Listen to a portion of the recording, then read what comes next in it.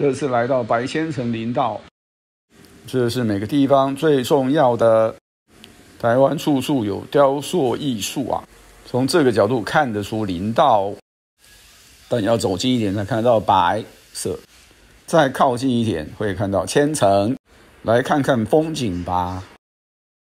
先看一下左边，再来右边看一下。这是借来的坐骑。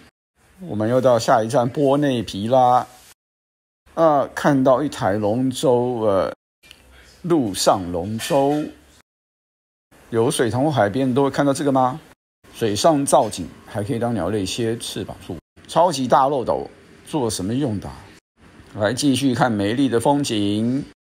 离开以前再看一眼。